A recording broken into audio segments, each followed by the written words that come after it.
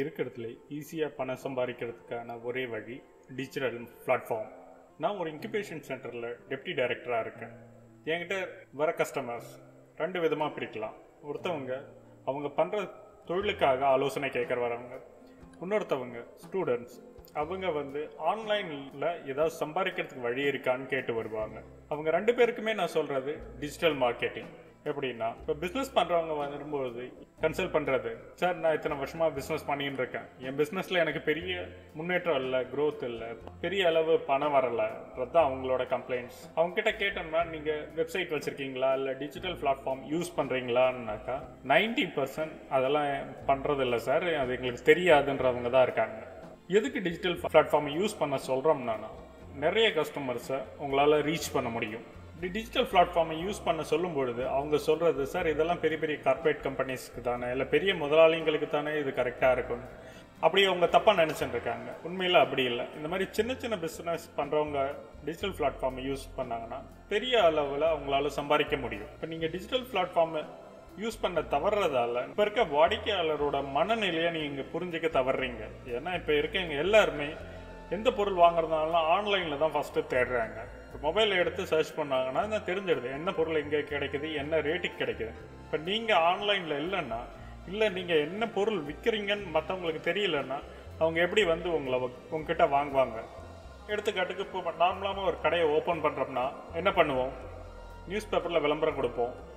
டிவியில் அட்வர்டைஸ்மெண்ட் கொடுக்கறது bit notice கொடுக்கறது பெரிய பெரிய பேனர் அடித்து வைக்கிறது ரேடியோவில் பண்ணுறது ஆட்டோவிலையாவது நம்ம விட அட்வர்டைஸ்மெண்ட் கொடுப்போம். ஸோ இதுக்கு எல்லாத்துக்கும் நம்ம செலவு பண்ணுறதை விட டிஜிட்டல் பிளாட்ஃபார்மை யூஸ் பண்ணி நீங்கள் மார்க்கெட் பண்ணீங்கன்னா உங்களுக்கு ரொம்ப ரொம்ப கம்மியான செலவுலையே நிறைய மக்களை போய் ரீச் பண்ண முடியும். அதே மாதிரி மக்கள் என்ன எதிர்பார்க்குறாங்கன்றது விஷயமும் உங்களுக்கு தெரிய வரும். உலக அளவில் போய் ரீச் ஆகும். அது வாங்குறாங்க வாங்கலன்றதெல்லாம் அடுத்த பிரச்சனை. ஃபஸ்ட்டு நம்ம செய்கிற தொழில் மற்றவங்களுக்கு தெரியுதுன்றது தான் இதில் மெயின் நீங்கள் இந்த விளம்பரங்களை யூஸ் பண்ணுறதால ஆகக்கூடிய செலவு பார்த்தீங்கன்னா ட்ரெடிஷ்னல் மார்க்கெட்டிங்கை விட பேப்பர் அட்வர்டைஸ்மெண்ட் டிவி அட்வர்டைஸ்மெண்ட் இதிலெல்லாம் நீங்கள் பண்ணுறதை விட இதில் ரொம்ப ரொம்ப கம்மியான அமௌண்ட் தான் செலவாகும். அதே மாதிரி நீங்கள் போட்ட அமௌண்ட்டுக்கான ரிசல்ட் நீங்கள் கண்கூட பார்க்கலாம். எவ்வளோ எவ்வளோ கஸ்டமர் நம்ம அட்வர்டைஸ்மெண்ட்டை பார்த்து வந்திருக்காங்கன்ற விஷயம் உங்களுக்கு ஈஸியாக தெரிய வரும்.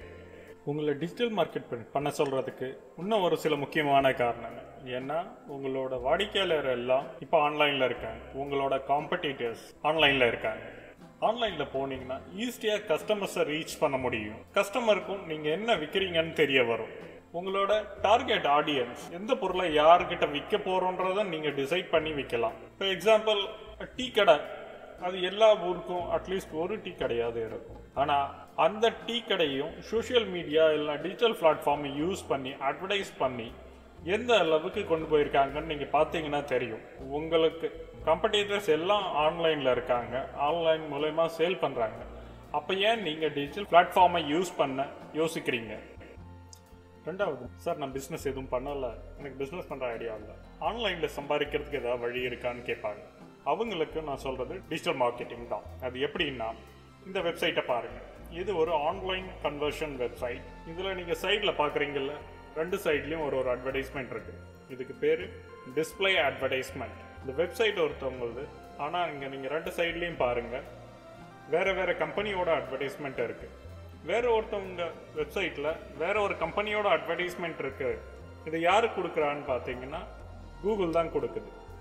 இந்த அட்வர்டைஸ்மெண்ட்ல அட்வர்டைஸ்மெண்ட்டுக்கு காசும் கூகுள் தான் கொடுக்குது. இதில் பாருங்கள் இது பேர் கூகுள் ஆட்சன்ஸ் கூகுள் வந்து ஒரு வெப்சைட்டில் அட்வர்டைஸ்மெண்ட் கொடுத்ததுக்கு அந்த வெப்சைட் ஓனருக்கு எவ்வளோ பே பண்ணுதுன்றதை பார்ப்போம். இப்போது நீங்கள் ஒரு வெப்சைட் வச்சுருக்கீங்கன்னா கூகுள் இந்த மாதிரி அட்வர்டைஸ்மெண்ட் கொடுத்ததுன்னா அது உங்களுக்கு எவ்வளோ பே பண்ணுறதை பார்ப்போமா? ஆயிரம் பேர் உங்கள் வெப்சைட்டை வந்து பார்த்தா கூகுள் கொடுக்கறது பாயிண்ட் ஃபைவ் டாலர்லேருந்து டூ டாலர் வரைக்கும் காசு உங்களுக்கு கொடுக்குது. நம்ம சராசரியாக ஒரு டாலர்ன்ற கணக்கில் எடுத்துக்குவோம் இப்போ சிம்பிளாக ஒரு கால்குலேஷன் பண்ணி பார்ப்போம். நம்ம ஆவரேஜாக ஒரு டாலர்னு எடுத்துக்கினா ஆயிரம் பேர் வந்து நம்ம வெப்சைட்டை பார்த்தா ஒரு டாலர். ஒரு டாலர்ன்றது எழுபத்தி ரெண்டு ரூபான்ற கணக்கில் எடுத்துன்னு போனோம்னா இப்போ மாதத்துக்கு நம்ம வெப்சைட்டை ஒரு முப்பதாயிரம் பேர் வந்து பார்த்தா நமக்கு முப்பது டாலர் கிடைக்குது. இப்போ முப்பது டாலர் இன்ட்டு செவன்ட்டி டூன்னு போட்டிங்கன்னா ரெண்டாயிரத்தி நூற்றி அறுபது ரூபான்ற கணக்கு ஒரு விளம்பரத்துக்கு. இதுவே உங்கள் வெப்சைட்டுக்கு ஒரு லட்சம் பேர் வந்து பார்த்தா ரெண்டு லட்சம் பேர் வந்து பார்த்தாங்கன்னா பத்து லட்சம் பேர் ஒரு மாதத்துக்கு உங்கள் வெப்சைட்டை வந்து பார்த்தா உங்களுக்கு எவ்வளோ வரும்ன்றத நீங்களே கால்குலேட் பண்ணிக்கிங்க. இந்த மாதிரி உங்கள் வெப்சைட்டை ஆளுங்களை பார்க்க வைக்கிற மெத்தடுக்கு பேர் டிராஃபிக் ஜென்ரேட்டர் டிராஃபிக் எப்படி ஜென்ரேட் பண்ணுறதுன்றத விஷயம். இதெல்லாம் சரி சார். எங்களுக்கு வெப்சைட் டிசைன் பண்ண தெரியாது. எங்களுக்கு நீங்கள் சொல்கிற விஷயம் எல்லாம் பண்ண தெரியாதுன்றவங்களுக்கு இந்த கோர்ஸில் நாங்கள் என்னென்ன சொல்லித்தர போகிறோன்றதை நான் சொல்கிறேன் ஃபஸ்ட்டு டிஜிட்டல் மார்க்கெட்டிங்னா என்ன? டிஜிட்டல் மார்க்கெட்டிங் எப்படி இப்படி எல்லாம் பண்ணலாம்? வெப்சைட்டை பிளான் பண்ணி எப்படி நீங்கள் ஒரு வெப்சைட்டை டிசைன் பண்ணுறது வெப்சைட் டிசைன் என்னன்னு உடனே இதுக்காக நாங்கள் கோடிங் கற்றுக்கணுமா அந்த மாதிரி எதுவுமே இல்லை. நம்ம டிசைன் பண்ணுற போகிற வெப்சைட் ஃப்ரீ டூல்ஸை வச்சு டிசைன் பண்ண போகிறோம் அப்போ ஃப்ரீ டூல்ஸ்னும் பொழுது வெப்சைட்டோட குவாலிட்டி அந்த அளவுக்கு இருக்காதுன்னு நீங்கள் நினைக்க வேணாம். அந்த மாதிரி ஃப்ரீ டூல்ஸை யூஸ் பண்ணி டிசைன் பண்ண ஒரு சில வெப்சைட்ஸை நான் காட்டுறேன். இது பிபிசி அமெரிக்கா அவங்களோட வெப்சைட் அடுத்தது சிபிஎன்என் நெட்ஒர்க்கோட நியூஸ் வெப்சைட் அடுத்தது உசைன் போல்டோட பிளாக் இது எல்லாமே நான் சொன்ன ஃப்ரீ டூல்ஸை வச்சு டிசைன் பண்ண வெப்சைட் இதே மாதிரி நீங்களும் வேர்ல்டு கிளாஸ் வெப்சைட்டை டிசைன் பண்ண முடியும். அதுக்கப்புறம் வெப்சைட்டெல்லாம் டிசைன் பண்ணியாச்சு. வெப்சைட் டிசைன் பண்ணதுக்கப்புறம் அதில் எப்படி டிராஃபிக் கொண்டு வருது? டிராஃபிக் கொண்டு வரதுக்கான மெத்தட்ஸ் என்னென்னு பார்ப்போம். First search engine optimisation search engine marketing email marketing paper click Google ads display advertisement Google analytics social media marketing developing digital marketing strategy இதெல்லாம் தான் இந்த கோர்ஸில் சொல்லிக் கொடுக்க போகிறோம் இது இல்லாமல் எக்ஸ்ட்ரா ஒரு இது நீங்கள் ஆன்லைனில் வேறு என்னென்ன டெக்னிக்ஸ் யூஸ் பண்ணி சம்பாதிக்கிறன்றதையும் சொல்லித்தரோம் இது எல்லாமே பார்த்தீங்கன்னா மற்ற ஆளுங்களும் சொல்லி தருவாங்க. ஆனால் எந்த அளவுக்குனா ஒரு குறிப்பிட்ட அளவுக்கு சொல்லி கொடுத்துட்டு அதுக்கு மேலே நீங்கள் இதை கற்றுக்கணுன்னா நீங்கள் இவ்வளோ பே பண்ணணும்னு ஒரு சில கண்டிஷன்ஸ் எல்லாம் வைப்பாங்க. இதில் அந்த மாதிரி எந்த கண்டிஷனும் இன்டைரக்ட் ஃபீஸோ எதுவும் இங்கே கிடையாது ஃபுல்லாக ஃப்ரீயாக சொல்லி கொடுக்கலான்னு பிளான் பண்ணி ஆரம்பிச்சது தான் இது. ஸோ இதை நீங்கள் யூஸ் பண்ணி சம்பாதிக்கிற பாருங்க. அடுத்தது இதுக்கெல்லாம் கற்றுக்கிறதுக்கு என்ன குவாலிஃபிகேஷன் வேணும்னு நீங்கள் கேட்டிங்கன்னா நீங்கள் ஒரு ஆஃபீஸில் ஒர்க் பண்ணுறவர் இல்லை ஸ்டூடெண்ட்டு இந்த ப்ரொஃபஷனில் இருக்கிறவங்களா வேணா இருக்கலாம். ஹவுஸ் ஒய்ஃபு ஒரு ஹைஸ்கூல் படிக்கிற ஸ்டூடெண்ட்டாக இருந்தால் கூட நான் பண்ணுறத பார்த்து அதை அப்படியே திருப்பி பண்ணால் கூட போதும்.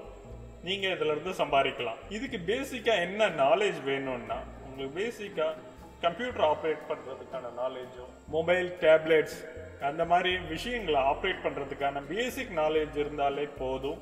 நீங்கள் இது மூலயமா பணம் சம்பாதிக்கலாம். இது எல்லாத்த விட முக்கியமான விஷயம். உங்களுக்கு புதுசாக ஒரு விஷயத்தை கற்றுக்கணும் அது மூலயமா சம்பாதிக்கணும்னு ஆசை இருக்கணும். அந்த மாதிரி ஆசை இருக்கவங்க ஈஸியாக இதை கற்றுக்கணும் சம்பாதிக்க இருக்கணும் இதோட மற்ற டீட்டெயில்ஸ் இதை பற்றியான வீடியோ பற்றியான இன்னும் பல விஷயங்கள் அடுத்தடுத்த வீடியோவில் பார்ப்போம். இது வெறும் இன்ட்ரோ வீடியோ மட்டும்தான்.